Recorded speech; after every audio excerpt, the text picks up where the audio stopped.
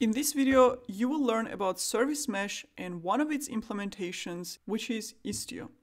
In order to understand the concepts, we will first look at the challenges of a microservices application, and then we will see how different features of a service mesh solve these challenges.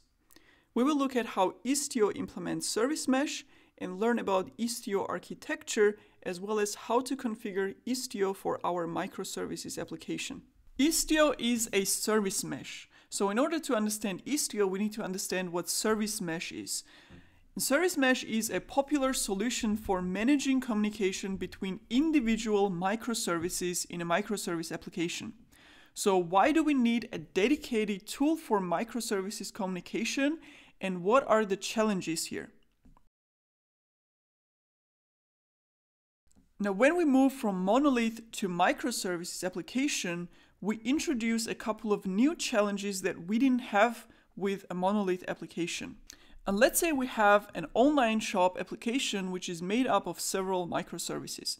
We have the web server that gets the UI requests, payment microservice that handles the payment logic. Um, let's say we have a shopping cart, product inventory, a database, and probably some more services. And we're deploying our microservice application inside a Kubernetes cluster. Now, what does our microservice application setup need to run successfully, or what are some of the required configurations for such an application? First of all, each microservice has its own business logic, right? Payment service handles the payment logic, web server handles UI requests, database persists the data, and so on. Now, services need to talk to each other. When user puts stuff in the shopping cart, request is received by the web server, which hands it over to the shopping cart microservice, which will talk to the database to persist the data. So how do services know how to talk to each other? What is the endpoint of each service?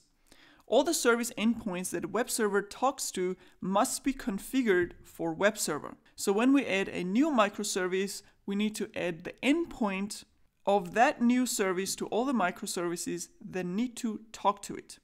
So we have that information as part of the application deployment code.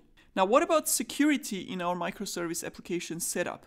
Generally, a common environment in many projects will look like this. You have firewall rules set up for your Kubernetes cluster. Maybe you have a proxy as entry point that gets the request first so cluster can't be accessed directly. So you have security around the cluster. However, once request gets inside the cluster, the communication is insecure.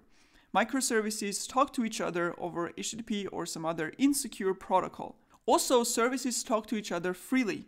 Every service inside the cluster can talk to any other service, so there are no restrictions on that. So this means that from security perspective, if an attacker gets inside the cluster, it can do anything because we don't have any additional security inside. And maybe for small applications that don't really have any sensitive user data, it may be okay.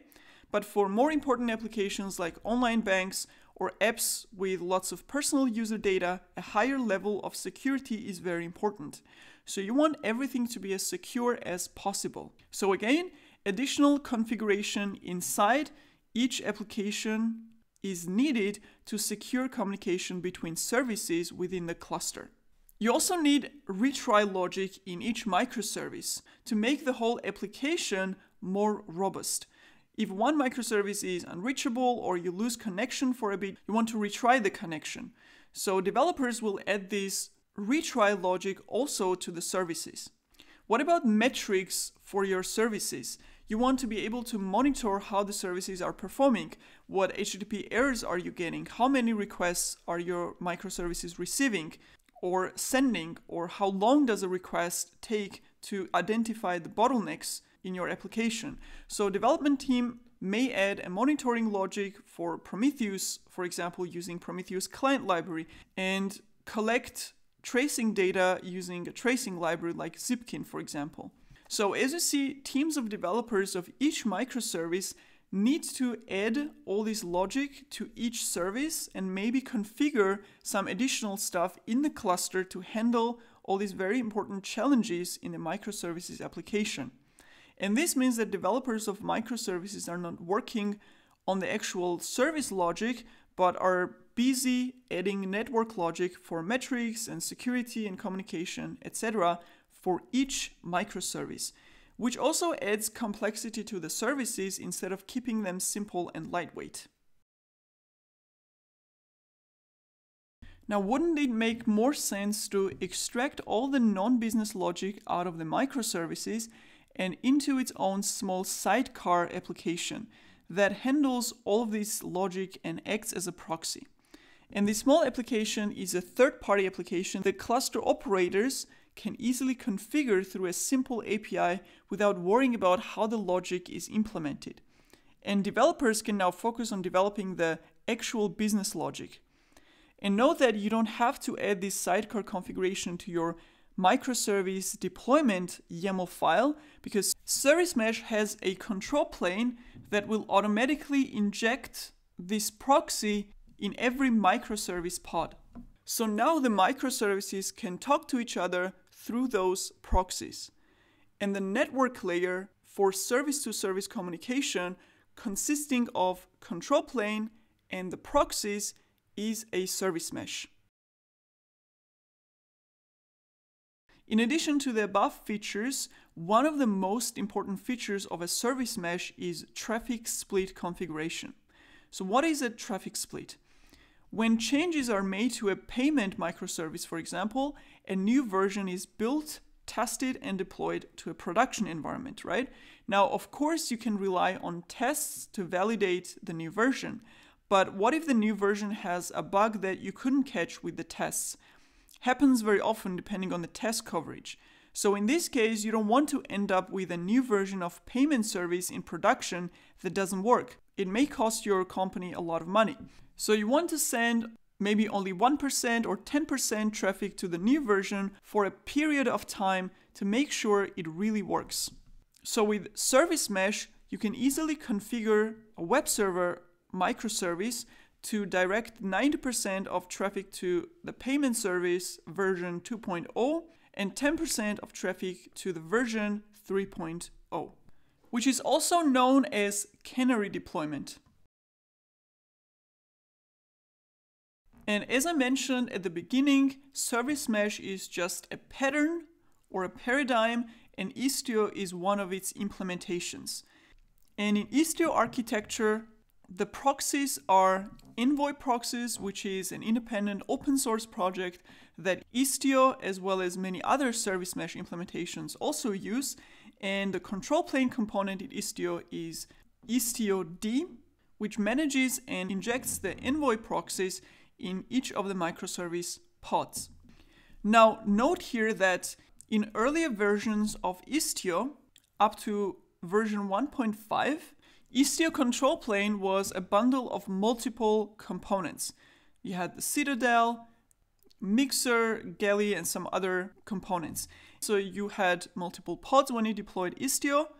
However, in version 1.5, all of these separate components were combined back into one single Istio D component to make it easier for the operators to configure and operate Istio. So if you have read articles or watched videos where all these components are explained separately, note that this is only relevant for the earlier versions. Now you only worry about one single Istio D component. So Istio architecture is comprised of the control plane, which has Istio D component, and control plane manages a data plane, which is group of all the envoy proxies. So now the question is, how do we configure all these above features for our microservices in Istio? As I mentioned, you don't have to adjust deployment and service YAML files for your microservices. So all the configuration for Istio components will be done in Istio itself. Again, mm-hmm. having a clear separation between the application logic and configuration and the service mesh logic and configuration. Mm-hmm. And the great thing is that Istio can be configured with Kubernetes YAML files because it uses CRDs by extending Kubernetes API.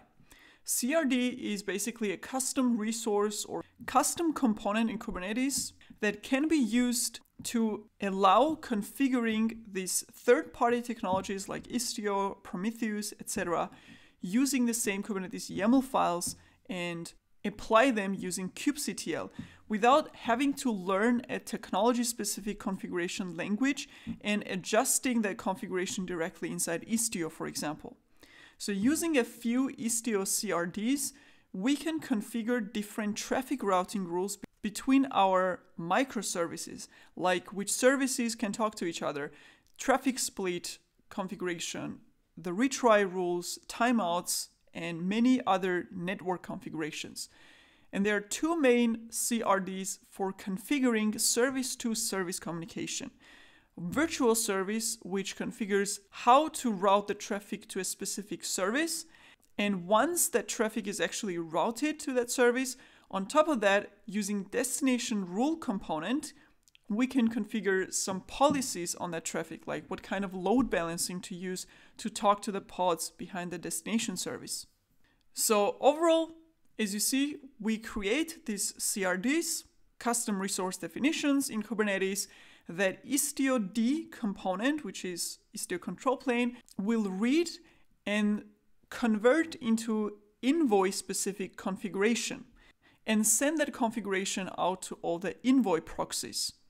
So we don't configure proxies, we configure control plane. And control plane itself will then push that configuration out to all individual envoy proxies. And the proxies themselves can now communicate with each other by applying this configuration that we define without having to go back to the Istio control plane. So they can independently talk to each other because they have all the logic and configuration they need without talking to the control plane.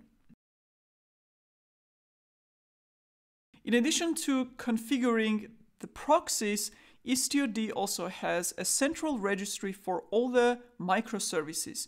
So instead of statically configuring the endpoints for each microservice, when a new microservice gets deployed, it will automatically get registered in the service registry without the need of any additional configuration from our side because Istio automatically detects the services and endpoints in the cluster.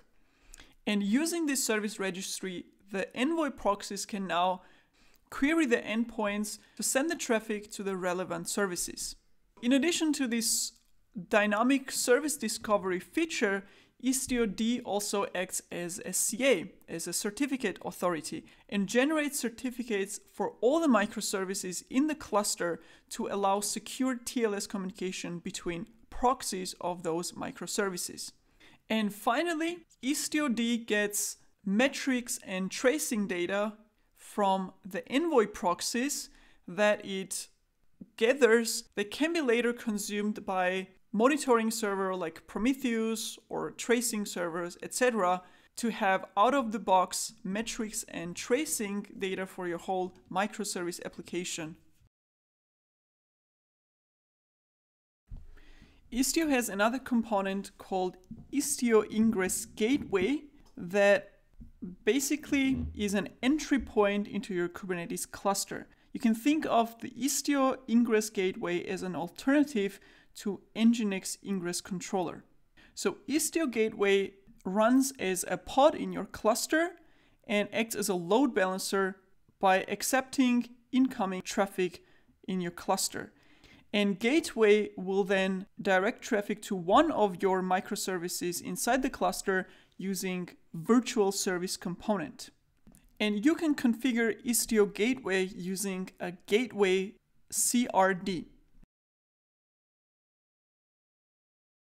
So now the traffic flow in your Kubernetes cluster with all these Istio components will look like this.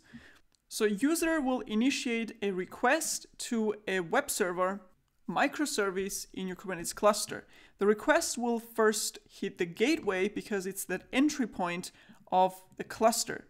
Gateway will then evaluate the virtual service rules about how to route the traffic and will send it to web server microservice. And finally, that request will reach the proxy, the envoy proxy inside your web server microservice.